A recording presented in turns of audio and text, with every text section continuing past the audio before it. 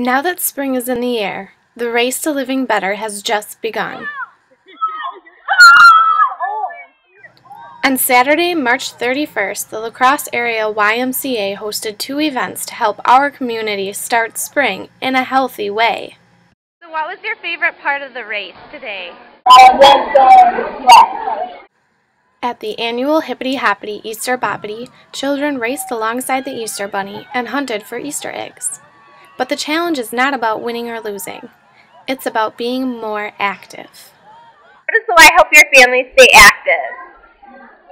Well, we got four kids, so it helps us actually make it somewhere where we can work out. Area families know that the Y is committed to improving our community's health. That's why, at Healthy Kids Day, families participated in activities and visited booths, discovering ways to improve nutrition, to be active, and to live a more healthful lifestyle. Today, the Y is helping to promote healthy choices and activity in kids' lives and it's just an opportunity to get out and be active and have fun. Each booth offered different information or activities than the last. Gundersen Lutheran doctor Stephen Webster explained to kids the importance of shielding their skin from the sun. We're telling people that when they go out in the wintertime, they wear a coat to protect themselves from the cold. In the summertime, they should protect themselves from the sun we're trying to tell the kids to be in the habit of wearing a hat. Not a baseball cap, but a hat that protects the ears and the back of the neck.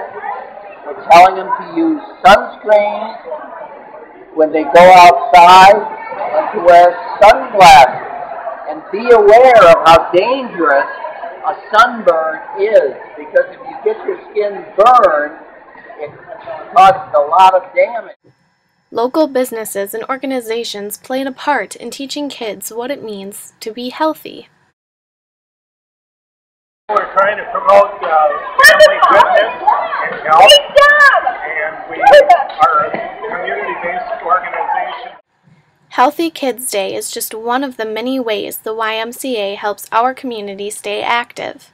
For instance, the Y offers a healthy lifestyles program to increase energy and activity and reduce stress and poor eating habits to help you find balance in life. With uh, eating right and exercising, of course. And they do a lot of swimming program children and gymnastics. As a young Y member Carter Manick pointed out, even though Saturday was a very cold spring day, Y members of all ages had a blast at the Hippity Hoppity Easter Boppity and Healthy Kids Day this year, and are all excitedly working towards building a healthier future.